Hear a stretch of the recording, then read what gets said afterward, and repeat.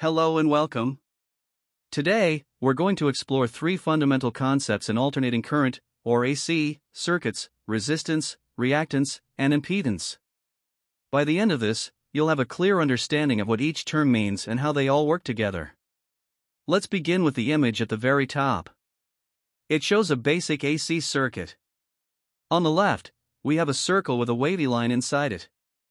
This is the symbol for an AC power supply, which provides a voltage, labeled V, that constantly changes direction, or alternates. This is different from a DC, or direct current, supply like a battery, where the voltage is constant. The lines represent the wires, and the arrow labeled I shows the current flowing through the circuit. On the right, we see a simple box labeled load. The load is any component or device that consumes electrical energy. In an AC circuit, this load can be a simple resistor, a more complex component like an inductor or a capacitor, or a combination of all three. The total opposition that this load presents to the flow of the AC current is what we are here to understand. This total opposition is called impedance. But to understand impedance, we first need to understand its two building blocks, resistance and reactance. Let's move to our first section, resistance, represented by the letter R. Resistance is a concept you might already be familiar with. It is the opposition to the flow of electrical current. Think of it like friction. When current flows through a component with resistance, electrical energy is converted into heat. The diagram shows a simple circuit with our AC supply connected to a component with a zigzag line. This is the symbol for a resistor, labeled R.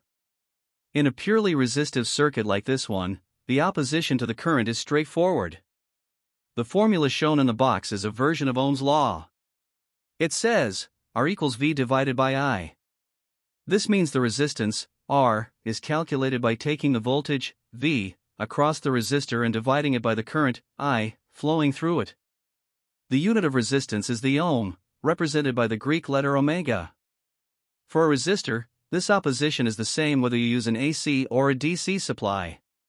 It doesn't depend on the frequency of the current.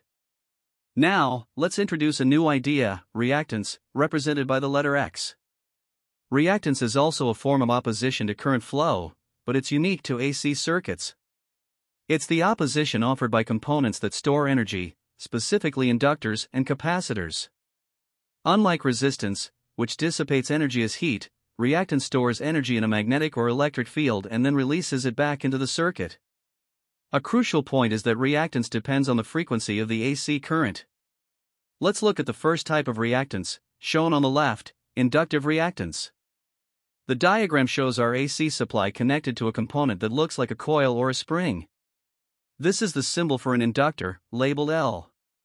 An inductor opposes any change in current. Since AC current is constantly changing, an inductor is always reacting to it. This opposition is called inductive reactance, written as X with a subscript L. The formula for inductive reactance is X sub L equals omega times L. Let's break that down. L is the inductance of the coil, measured in a unit called henries. The symbol omega is the angular frequency of the AC supply. It tells us how fast the current is oscillating, and it's measured in radians per second. Angular frequency, omega, is directly related to the standard frequency, f, which is measured in hertz.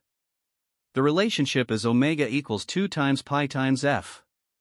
So, the formula tells us that the inductive reactance increases as the frequency of the AC current increases, or as the inductance of the coil increases. More frequency means more opposition. Below this, you see another formula, x sub L equals J times omega times L. The J here is the imaginary unit, the square root of negative 1. In electronics, we use J instead of I to avoid confusion with the symbol for current. This J is a mathematical tool that tells us something very important. In an inductor, the voltage and current are not in sync.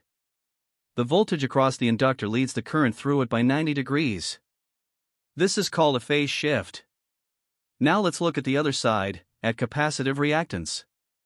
The diagram shows the AC supply connected to a component with two parallel lines. This is the symbol for a capacitor, labeled C. A capacitor opposes any change in voltage by storing electrical charge. As the AC voltage rises and falls, the capacitor is constantly charging and discharging, which creates an opposition to the current flow. This opposition is called capacitive reactance, written as X with a subscript C. The formula for capacitive reactance is X sub C equals 1 divided by the product of omega and C. Here, C is the capacitance, measured in farads, and omega is the same angular frequency we saw before. Notice that this relationship is inverse. This means that capacitive reactance decreases as the frequency or the capacitance increases. This is the exact opposite of an inductor. High frequencies pass through a capacitor more easily. Just like with the inductor, we have a vector form, x sub c equals 1 divided by the product of j, omega, and c. When we move the j from the denominator to the numerator, it becomes negative j. This negative sign is also very important. It tells us that in a capacitor, the voltage and current are also out of sync, but in the opposite way. The voltage across that capacitor lags behind the current by 90 degrees. So, to summarize reactance, it's the frequency dependent opposition from inductors and capacitors. The general formula for reactance is X equals V divided by I, where V and I are considered as vectors, or phasors, to account for the phase shifts. Finally, let's bring it all together with our third concept, impedance, represented by the letter Z. Impedance is the total opposition to current flow in an AC circuit. It is the combination of both resistance and reactance. The general formula is written as Z equals R plus J times X. This shows that impedance is a complex quantity. The R is the real part, representing the energy dissipating resistance. The Jx is the imaginary part, representing the energy storing reactance, which includes the phase shifts. Let's look at the different circuit combinations. First, an RL circuit, which has a resistor and an inductor in series. The impedance for this circuit is Z equals R plus J times X sub L. The resistance R and the inductive reactance X sub L don't simply add up like regular numbers because of the 90 degree phase shift. To find the total magnitude, or the overall size of the impedance, we have to use the Pythagorean theorem. The magnitude of Z is equal to the square root of R squared plus X sub L squared. Next, we have an RC circuit, with a resistor and a capacitor in series. The impedance here is Z equals R minus J times X sub C. Remember, the capacitor's reactance has a negative J, which is why we see the minus sign. To find the magnitude of the impedance for this circuit, we again use the Pythagorean theorem. The magnitude of z is equal to the square root of r squared plus x sub c squared. Finally, we have the most complete case, an RLC circuit, with a resistor, an inductor, and a capacitor all in series. In this circuit, the inductive reactance and the capacitive reactance directly oppose each other. The total reactance is their difference, x sub L minus x sub C. So, the complex impedance for an RLC circuit is Z equals R plus J times the quantity, x sub L minus x sub C. The total magnitude of the impedance is therefore Z equals the square root of R squared plus the square of the quantity, x sub L minus x sub C. This single formula covers all possibilities. If there's no capacitor, x sub C is 0, and we get the RL formula. If there's no inductor, x sub L is 0, and we get the RC formula. This brings us to the final, most important boxed equation at the bottom, Z equals V divided by I. This is the Ohm's law for AC circuits. It's a powerful generalization that works for any AC circuit, no matter how complex. It states that the total impedance, Z, is the ratio of the AC voltage, V, to the AC current, I. This simple looking formula elegantly accounts for resistance, all forms of reactance, and all the phase shifts between voltage and current. So, to recap, resistance is the simple opposition that creates heat.